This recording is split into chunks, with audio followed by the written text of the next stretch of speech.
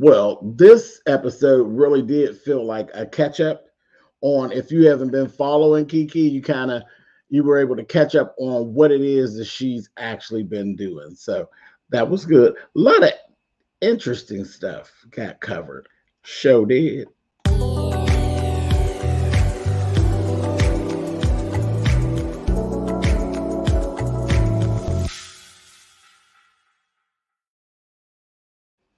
Hey guys, thanks so much for clicking on the video. This is my review for KeKe's World. This is season one, episode two. And like I said, this episode felt a lot like a, a, a quick catch up on some things, some questions I had floating around. She actually talked about some good stuff, some good stuff. She actually talked about bullying. You know, bullying when it comes to your kids, bullying doesn't always happen outside the home. Sometimes bullying is happening right inside the home. And in the African American household, it doesn't get seen as bullying a lot of times and therefore does not get addressed. So they actually kind of talked about that. Um, also, we found what happened to Michael. Now, this was the thing because, you know, love KeKe dearly, but I followed the music. Um, I, I saw when she had her other show, she was doing her show on YouTube. Again, I followed the music. I knew the show was there. I give her a click and a view here and there, but I followed the music. So I, I always kind of wonder what happened to Michael. And we found out some stuff about Michael, and I was really shocked. I was really shocked. But in this episode, we got to see a lot more about Zachariah, um, which is her now her current husband. And I think I like Zachariah. I think I like Zachariah. I was like, what is he doing? Is he like another Mr. Mom, like Michael was, or or what what what does he do really? He's Mr. Mom for sure, um, but he got it going on. Zachariah, when he speaks, people listen people listen. And he's not because when you look at him and his stature, you just kind of like, okay, you know, he big, big and brawn, and and yeah, okay, she went and got her old big old thick old country uh man. But uh-uh, he cried, looked like just as quick and just as easy as her. But he's about his business. So I like I like Zachariah. I like what I saw. I like what I saw. But um, so let's just start right there. So when we left off, her and Andre were having their little time. Zachariah was coming down steps. He told her, "Shut up, shut up," because she was doing the KeKe. She wasn't listening. She just fussing. Now, one thing about KeKe, she loved kids. Mm-hmm. KeKe kind of self-centered though. KeKe is a bit self-centered.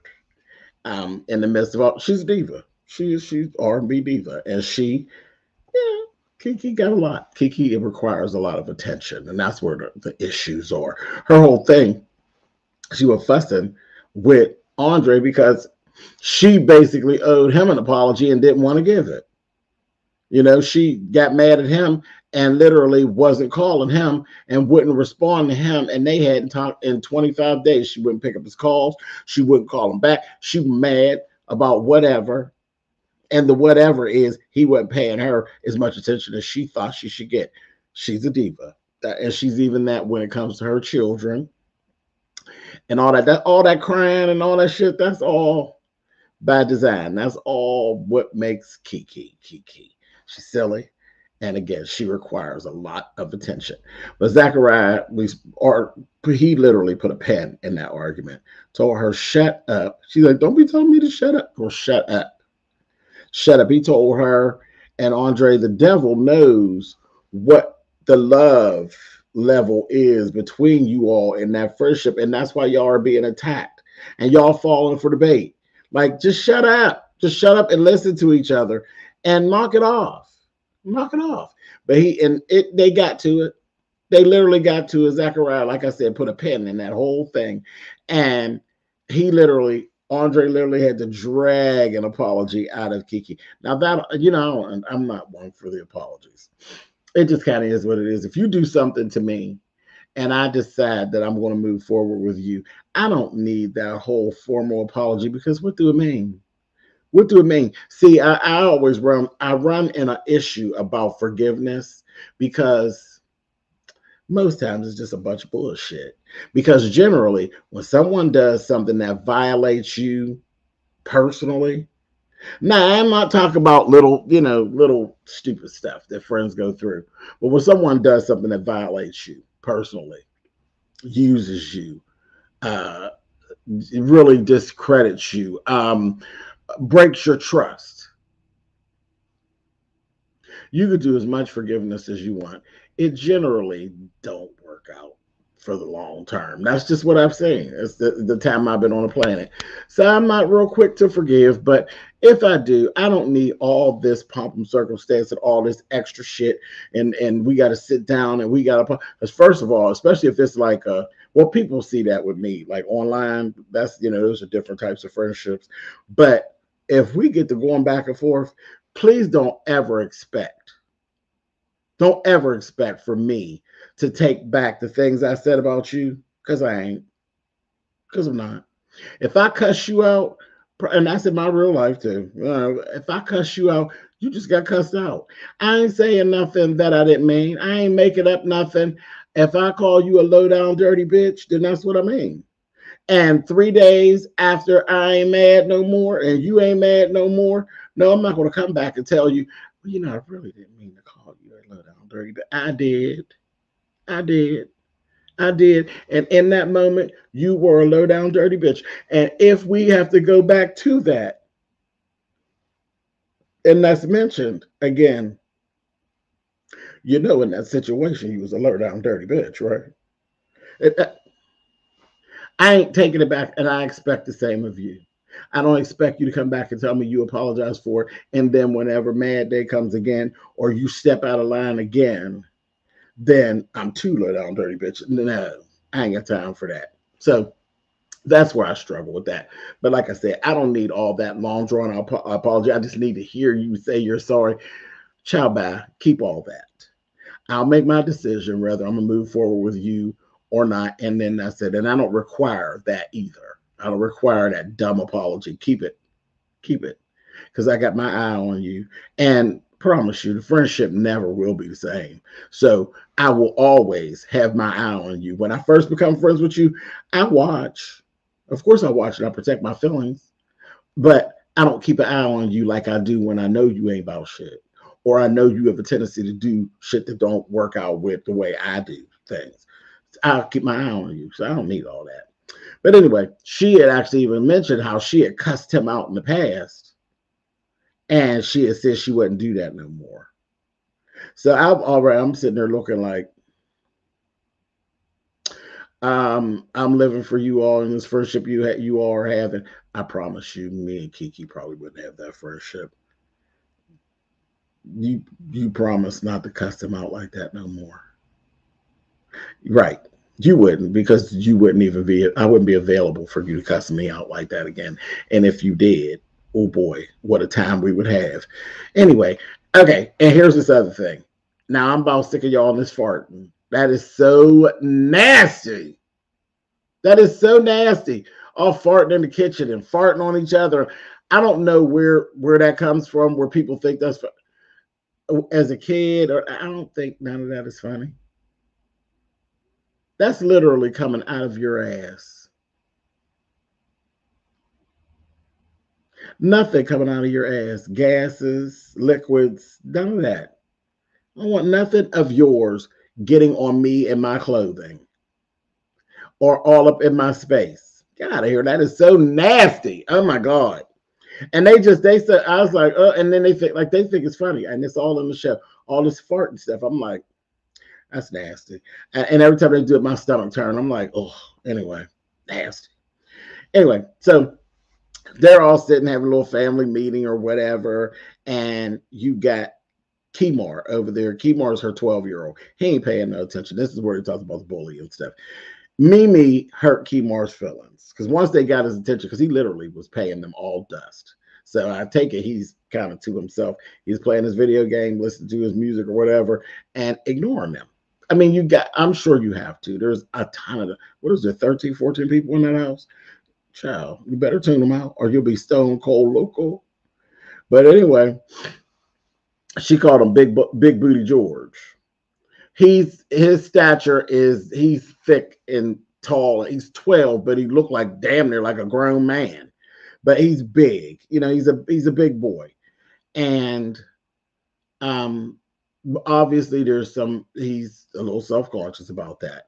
And Mimi said some stuff and he kind of walked off. It hurt his feelings. And they're like, go on down there, you know, um, you know, because KeKe was, you know, right, chuckling, chuck, chuck, with the kid, you know, no big deal. And they're like, you know, he'll cry and this, that thing, and the other. Okay, so this is where the issue is. KeKe goes down and she talks to him. Now, I was digging what she was saying at first. You know, she was saying, you know, I forget sometimes, like I really do. They had her confessional running. Said, I forget sometimes. He is a baby, and he's tw- he is he's twelve. He's a baby, literally. You know, twelve years old. That's a baby. And she's like, and I forget, you know, and I she knows that he's not that person. And she spoke that she knows all her kids are different, and this, that, and the other thing, and they are people, period. Everybody is not equipped for that old shucking and jiving and reading and roasting bullshit. Everybody ain't cut out for that. There are people who can take it, there are people who cannot. And the people who cannot, and I see, I can't speak to a Caucasian home because I ain't never lived in one. But in an African American home, if you don't have tough skin, you kind of just get rolled over. You're seen as weak and you're always a target. If somebody feels like it, they will drag you. And, you know, it happens. And I promise you, there are black people who actually deal with the bullying stuff, just like you see white kids that deal with the bullying stuff. Um, do our stuff get televised like theirs all the time? No. And I'm being real with y'all. No. And it, but it happens. Black kids commit hara-kiri too. It happens. There are kids that they end up committing sideways because they, they just can't handle the pressure. But our stuff don't get televised like that. One, we ain't so quick to even want to share that. See, that's that's the thing about how uh, the the as much as we are alike, we are just that much different. Black folks ain't quick to share nothing about suicide. We ain't quick to share nothing about gay. We ain't quick to go against what the church say. We mm-mm, mm-mm. so a lot of times our stuff stays hidden. You know, we a lot of us. You go back. I'm 51. When I grew up, you go back. When I grew up, and behind the the generation behind me, what happens in this house stay in this house things are starting to change, but that's why a lot of you know molestation and and and all kind of sideways shit. And it happens. All of it happens within the black family as well, but we just ain't out here running it. We ain't out here running it, and they don't make it all up on the news because you know in a lot of circles, don't nobody care. That's y'all's problem. But we ain't the ones that's quick to share it but we deal with the same old stuff. So this was good. This was good. I seen this, and I, basically, he's one of those kids that is not equipped for that that shucking and jiving and all that bullying. And it is bullying. It's bullying when it's not wa- warranted and it's not welcome. It is bullying when you know that it bothers a person. When the whole family sat back where he walked out, and they all knew what part they all played. That's bullying. That's bullying. And I'm just glad that they're aware. And later in the program, we seen, you know, he sat with KeKe, but then KeKe did the KeKe thing, in my opinion. Some folks ain't gonna like it, but I'm gonna say it. KeKe did the KeKe thing. KeKe took his pain and made it about her. And then she's over there trying to cry and carry on. So he had no where to release his shit because now he jumped right over to protect because they're trained to protect her. They're trained to protect her, which they're boys. They should, you know, boys, and it's a lot of it's innate. You protect your mother. So when she turned on her flood, you know, and again by design, that's KeKe. I require the attention. So she just took it. Then it became about her. And now how she's so hurt. She was so hurt because he viewed her as a part of the problem because it wasn't mommy and then the kids are doing this to me. It's like everybody's doing it, and mommy was a part of it. Actually, mommy kicked it off, and that that made her cry. So that was that. But anyway, he did end up, you know, she talked to Zachariah. Zachariah was like, okay, I got it. And he sat down and he talked to him. And they had a talk. And he basically put, you know, told him why I'm here, what I expect, what I'm trying to accomplish. You know, if it's bothering you, I'm gonna make it stop. Period. And that's how we end up rolling into the stuff about Michael. And Michael is Kimar's biological father. And I, I was so shocked because when Michael was in the picture and she was on R&B Divas, one of our things was that God, Michael is always up underneath her, like go away. He is always up underneath her. So from going to from that to this, I couldn't even imagine how we got here. That he's not hands on with the kids. He was with these kids forever. And now he just kind of, I said, what the heck happened that he kind of just don't mess with y'all? Like he don't mess with them at all. And and in her confessional, she asked, she did, this was good too. She asked Kimar, is it okay if I speak about your relationship with your dad? You know, and he, he basically spoke of himself. He's like, he don't come around, he don't do nothing, he's not present. He just gives us stuff and keeps it moving. And no one could have made me believe that that Michael, as much as my how he played Mr. Mom, and as much as he was stuck up underneath KeKe, that something went down that he literally just kind of don't mess with her at all. Because I was shocked when he wasn't a husband no more. I was like, what? So that was very interesting. I answered some questions. I was like, okay.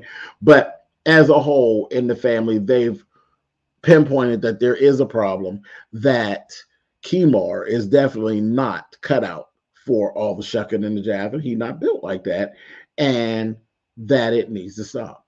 It needs to stop. And nobody really gave, and that's the good thing is that we didn't see anybody giving any pushback, you know, and playing the, oh, well, whatever. Nobody did that because that's what happens a lot in the black home.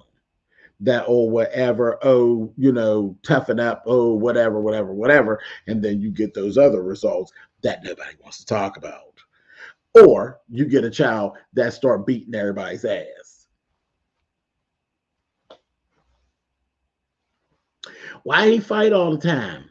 He must be starting it. He got a chip on his shoulder. No, you was doing doing the most and got your ass whooped. That's all. But yeah, so you know, it is what it is. Life is life. Life is life. Um, being black ain't changed since I got in it. it hasn't. It literally hasn't. I mean, we're more, I don't know, for some reason, we're starting to be more out there with telling our stuff. But child, being black is a very interesting, very interesting dynamic. And I mean, but you know, for the world, you actually do need tough skin. You do. You need tough skin.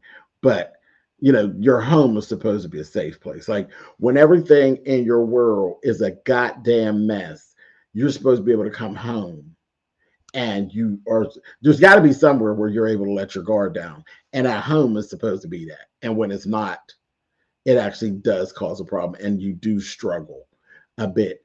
And you know sometimes you got to shake up the foundation. It just kind of is what it is. You have to have a space that you can let your hair down. There has to it, being a person doesn't work unless there's a space where you can actually let your hair down. And sometimes you got to be the ass or 10 to make for that space. Go on whoop ass. that is my advice. Going on and whoop ass, honey. Moving right along. We've seen um Kiki go to a rehearsal. She's going to do the City Winery, which we just got one here in Pittsburgh, and I love it. Love it. City Winery does bring in a lot of African American acts and I love it. And I'm so appreciative. We just got ours this year. And listen, we've been getting a lot of entertainers that we normally would not see. And I am so here for it. But she was doing the Atlanta City Winery. She was struggling through this rehearsal. You know, her voice is just beautiful anyway, but she was like hoarse and she was having all these issues with her voice. But it, it made sense. I mean, come on. What she got going on with the baby and all that. She it's a lot of fatigue, it's a lot of stress that she has going on. So no shock to me that she would you would see some of the results in her voice. And I can imagine that she never gets the sleep. Even being the spoiled diva that she is, I can imagine that she never gets the actual sleep that is required, especially to do what she does. You know, because she's it's all muscle what she's using. Those are muscles. All that singing, she don't. I'm sure she doesn't keep up the rest that she should to actually carry that the way she does. Truly gifted from God to be able to do what KeKe does and be who she is. Um, her daughter Kitara is actually doing the styling for her, and you hear them talking when it's talk, they talk about the music, and then it comes up again in the close about staying young and staying youthful. I'm like, but she's not young and she's not youthful. And I'm I laugh every time the kids, the kids is like, you need to do some ass shaking, popping music. So because these old people you singing to, they dying, they falling off like flies. Excuse me, ma'am. No, we're not. No, we're not.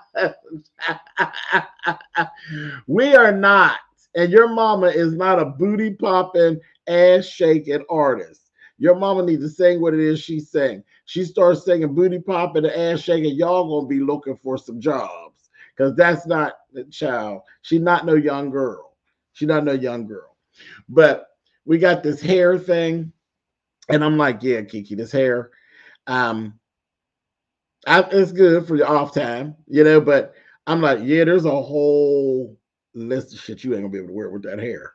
You know, so I was laughing at her trying to figure out looks to go along and ride in with that hair. I was like, ooh, you got your, your work cut out, Ellie.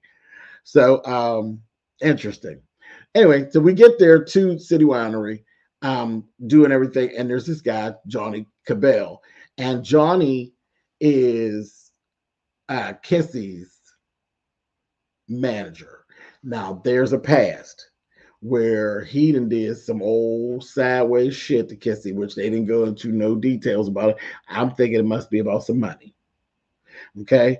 And KeKe is mad. See, this is one of them things when you have a relationship, any kind of relationship, you don't take your relationship to your family until you know you are completely done because your family don't forgive. And you be them moved on and you be kissing that again, and your family still want to wring his neck. And this is what's going on with Johnny and KeKe. She just got all, like I said, diva. She it derailed everything she got going on because he was backstage. I'm like, KeKe, if you don't pull it together and knock it off.